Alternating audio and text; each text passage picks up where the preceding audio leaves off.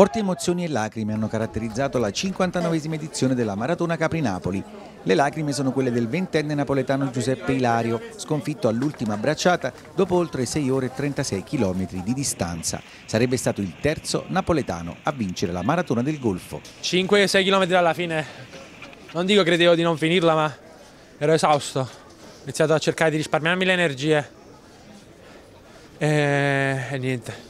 Il trionfo al fotofinish del romano Alessio Occhipinti, 28 anni, alla terza vittoria in 4 anni. Entrambi i nuotatori sono delle fiamme oro. Il mare abbiamo trovato abbastanza calmo, il meteo era dalla nostra oggi rispetto comunque a due anni fa e quindi è andato tutto, tutto molto bene.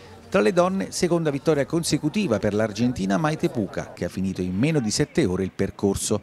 Presente al traguardo il presidente del circolo canottieri Giancarlo Bracale e l'assessore allo sport del comune di Napoli Emanuela Ferrante. Mi sono emozionato, ho avuto anche le lacrime agli occhi perché vedere questo arrivo, vedere questo sforzo immane che hanno fatto questi ragazzi, no? come si può rimanere insensibili di fronte a uno spettacolo del genere?